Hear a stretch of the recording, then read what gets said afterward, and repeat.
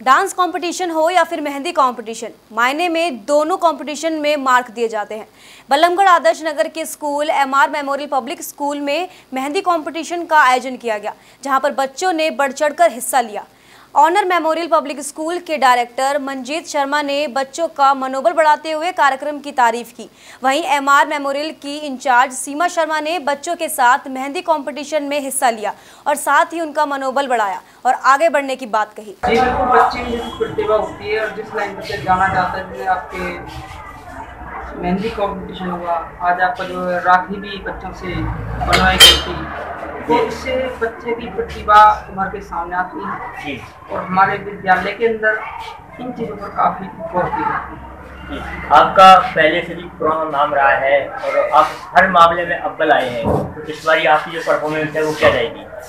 पिछली बार भी हम परफॉर्मेंस अव्वल ही मानते हैं। हमें काफ़ी तो मिल है काशी आप तो जानते हैं जो हमारे सारे स्कूल के बच्चे हैं। ये सब हमारे परिवार के हिस्सा की तरह है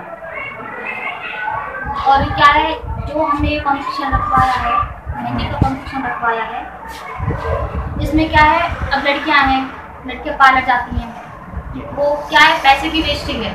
जाती हैं पार्लरों में मेहंदी लगवाने के लिए, जाती हैं। इससे कुछ ही ना तो उन्हें कुछ सीखने के लिए मिलता है पैसे भी खर्च होते हैं। अब हमने यहाँ पे कॉम्पिटिशन रखवाया है मेहंदी का। इससे पहली बात तो पैसे की भी बचत है।